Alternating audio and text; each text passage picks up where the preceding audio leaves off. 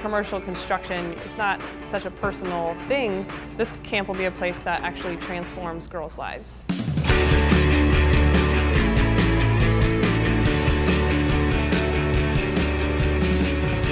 So you'll notice the exterior walls are a little bit different. You'll see the structural framing covered by sheathing, and that's pretty typical. But then we're followed by rigid insulation and then a weather barrier board.